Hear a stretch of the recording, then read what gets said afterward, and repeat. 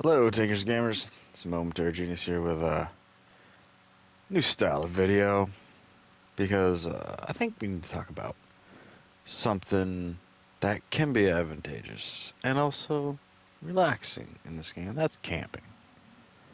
Because there are times where you just want to chill and relax, but at the same time, you just want to blow up tanks. And there's nothing wrong with finding yourself a sweet spot, a nice ridge line, some decent cover, with an open field, and lo and behold, members of your team, there's a nice little vanguard that's bouncing around the map, lighting up all those crazy fools on the other team being stupid, rushing out, or, you know, in Cold War. Hey, those mother ducking fools rushing around, that true vision, you're like, ooh, there's a tracking shot. Ooh, there's a tracking shot. Bring that spotted in. Bring that assisted in. And oh, did I accidentally ammo rack you with my missile? Sucks to be a fool rushing in all YOLO style. Now, also, camping can be very advantageous for tanks that are perhaps on the slower side, under armor side, or you're in the process of upgrading your tank so it's not at its full potential, as is the case with the TR-850 here I'm in. I'm not really interested in fully upgrading this tank as I really want the TR-125, so I'm not gonna charge in. I don't really have the uh, H horsepower can't just say HP because I could confuse you.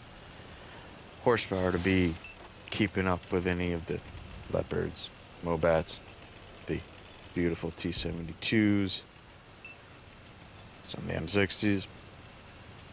So, this is a tank. This is a camper's tank. Mm, like the FV4211, except without the armor and gun accuracy. Think you think about what's a nice camping spot to find with my boys. Bring the honeys along. Crack open a cold one. Sit back and really hope all these bird dog and armadillos, BMPs, find me something to shoot. As is the case, well, that's a dead tank I shot. It happens. But here, Fred Vang, find this nice spot that can be very advantageous to tanks with low or high gun depression. Low gun depression, depending. 8 degrees, 9 degrees. Uh, dealing with 5 degrees here. But it's not all pointless to camp because, A, I know there's at least four tanks over here. Well, now five the ones that haven't been detected yet are the T-72A. I've seen a missile fly across my screen, so I know there's at least most likely BMP. It's a BMP-1 later in the future, you'll find that out. But I found a nice spot the enemy can't shoot, mostly because my teammates are also supporting me for a change. It happens. Where they actually work to keep the enemy distracted. And, um, I hate to say this, but I think the uh, opponents on the team didn't know where they wanted to go, and we're spending too much time trying to find where they were going. So, like the T-72A thought he had a spot, then he moved open across open terrain, and uh, I was able to put a little hurting on him. But not all tanks are meant to charge in. We've all seen the little thing telling us on the side, telling us all what the tanks do, but there are some tanks that just, they're hybrids.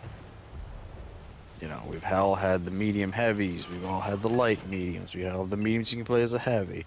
We've all had the TDs with the frontal armor like the Object 268, version 5. That can you play like a heavy, but has the reload time of an artillery piece. Yeah.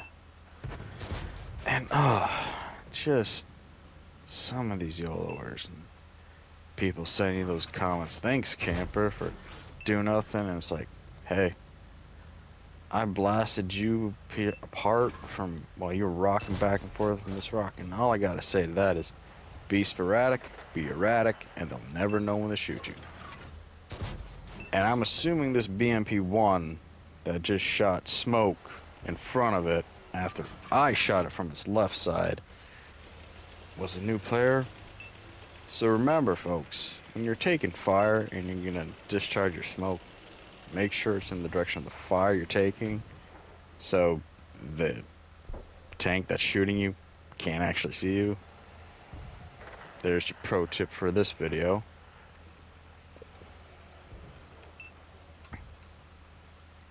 Now, another point of camping that everyone needs to learn is leading the shot. The upside to being still and not moving around a lot is you have a stable platform to fire from.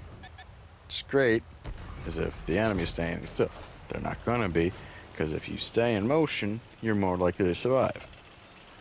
Unless you've got someone with good gun depression, or not, well, good gun depression, good gun actually, and uh, has an understanding of what the shot, the uh, velocity of the rounds are. Like here, I'm sitting back cool and collective, and look with that. Eh, 2,000 damage. Decent assist. Hey man, 3,000 fine. But yeah, every once in a while you gotta charge in because while you're camping, make sure to look at the map.